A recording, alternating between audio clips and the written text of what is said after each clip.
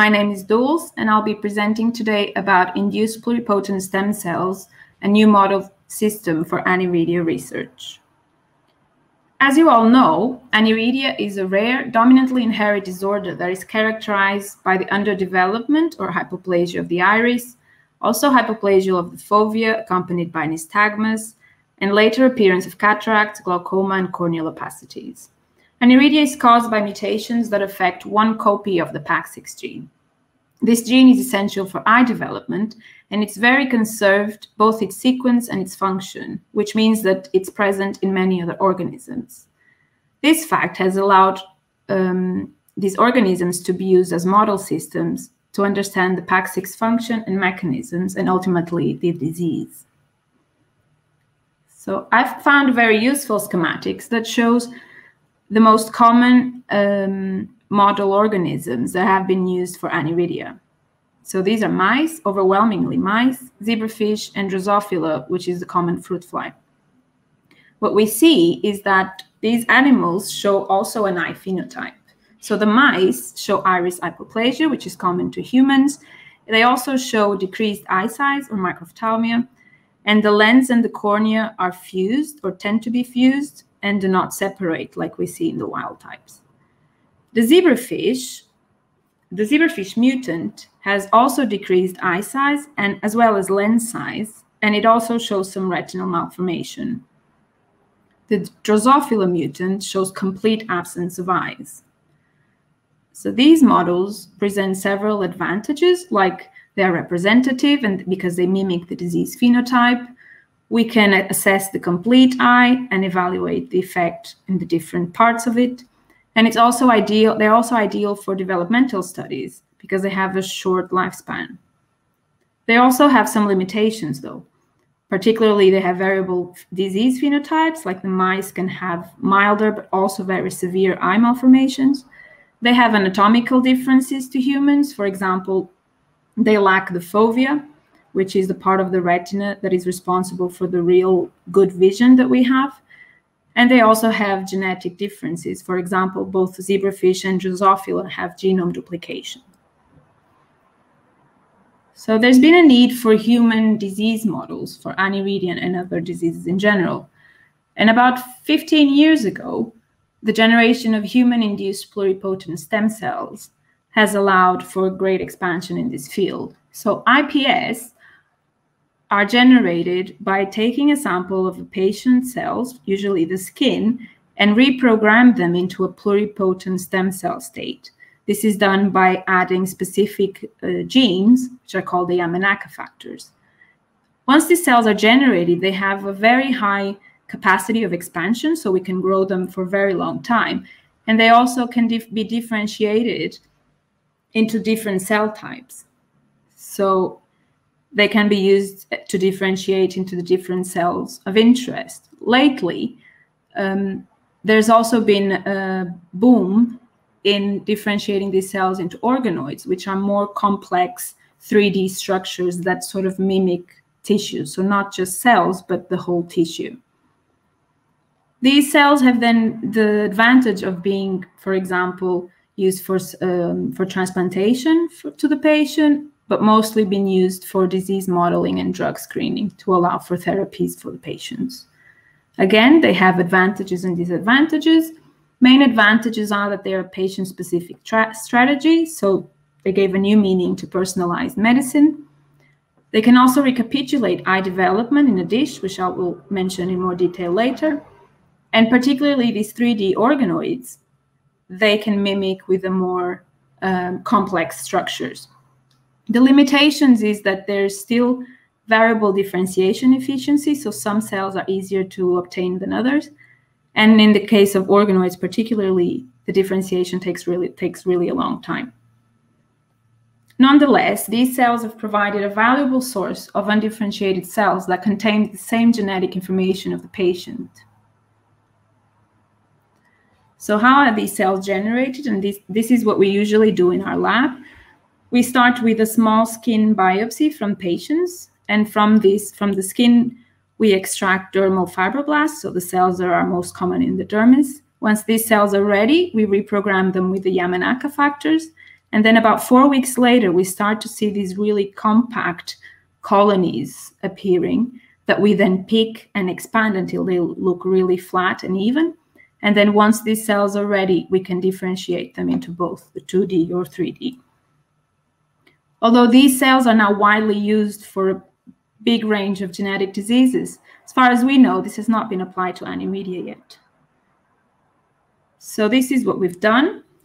We have generated two IPS lines from Aniridia patients carrying PAX6 mutations, so two different mutations affecting different parts of the gene and we've generated and validated them by showing positive expression of pluripotency markers, as well as routinely checking uh, their, carry- their chromosomes to make sure that there is no differences um, that occurred with the, the culturing of the cells. Once we've knew about this, we started our differentiation. So as I said before, it has been shown already that IPS can be used to mimic early eye development. So we know from in vivo, so from mice studies mostly, that the eyes start very early in the embryo in this region that becomes the eye field. So the cells in this region then start to migrate towards the surface, which then has the surface ectoderm, becoming the optic vesicle. Once they reach the surface, they get signals from, the, from this layer that causes the optic vesicle to fold inwards and forming the, the future retina, so the presumptive retina, while the presumptive retinal uh, pigmented epithelium starts to become to be formed outwards. This uh, this part of the surface ectoderm also eventually detaches and forms forms the lens. The very outer layer becomes the cornea, and then the retina and the RPE further mature to be to then form the, the eye. When we look at where PAX6 is involved, we see it's pretty much everywhere. So when trying to recapitulate this process in IPS, we see that at day zero, when they're undifferentiated, they don't express any of the eye markers. Once we induce the differentiation, by day 10, they start to express the same eye field markers that we see in vivo. Then further along, we see optic vesicle markers starting to appear and then around day 35, we see a presumptive optic cup or an optic cup-like uh, structure, which has the retinal markers on the outside here on this ring. And then we have also some RPE patches here at the bottom. So one of the limitations of this process, and it's actually something a lot of people are working on, is that we cannot make this folding that we see in vivo happen in the IPS. And that is probably because we do not have the surface ectoderm signals forcing this process. So this is something ongoing that a lot of people are trying to fix. So we've done the differentiation of our Aniridia IPS um, cells. And what we see is that when looking at the PAX6 protein levels themselves, we see that they start to reduce already from day 25. So at the optic vesicle, they are still okay, but then um, after that, they start to be reduced.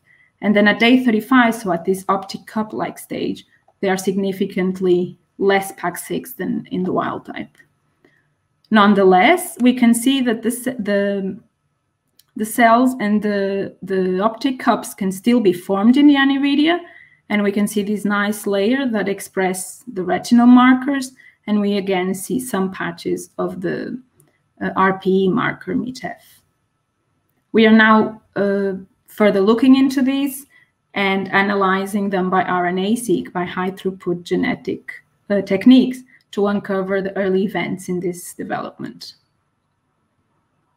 Another model that we generated using the same IPS lines were IPS-derived limbal epithelial stem cells. So these cells are part of the cornea. And to do so, we've adapted a published protocol of about 25 days. I won't go into much detail on this, but it takes uh, up to 25 days. So again, when we looked at the PAX6 levels throughout this process, we see already at day 10 that there is less PAX6 uh, in the aniridia than there is um, in the wild type. And at day 15, this is significantly um, reduced in one of the lines, and there's also a trend for the second line. We're further characterizing these cells, and we're looking for limbal epithelial stem cell uh, specific markers like P63 alpha and ABCG2, and we see that they're also quite upregulated from day 10 onwards. ABCG2, which is supposed to be a transient marker, so it's supposed to be turned off um, a little bit later, we do see that trend on the wild types, but we do not see that on the aniridia. So we think there's some difference here, which has also been um, seen in uh, aniridia limbal cells that actually extracted from the patients. So we're looking now deeper into these differences, and we're trying to understand um, how these limbal stem cells are affected by the reduced PAX6 levels and how it, it can actually um, affect and, and become this aniridia related keratopathy that we know patients suffer from. So as future work from our lab, we're going to keep working with these aniridia IPS cells, mostly for disease modeling. So try to understand and uncover the effect of PAX6 mutations in these models through high throughput analysis. And we'll be further maturing the IPS optic cups into retinal organoids, so leaving them to differentiate longer to really understand and to mimic the ret full retinal development. And we're also using these cells and these systems for drug screening, where we've tested um, novel read-through compounds for these patients. And for this, we have a poster presenting it at the conference as well. So to conclude, I hope I showed you that IPS technology can and should be applied to, for aniridia research, mostly because of the ability to differentiate into different eye tissues uh, we show that they can mimic the early eye developmental process and that PAX6 levels are already reduced from day 35. We show a PAX6 reduction in the limbal epithelial stem cells, and these cells can be vital to try to uncover the mechanisms behind the cornea defects. Uh, although we don't do this, there are other tissues that could be modeled from IPS, and there has been publications that show IPS-derived uh, lens epithelial cells which could be interesting to use to uncover the mechanisms behind cataract formations. And ultimately, these cells can be used as a platform for patient-specific cells for drug screening and therapy development to, be to benefit the patients. Thank you all for uh, listening. I want to also thank um, the people who have who helped me with this project, and I'll take any questions.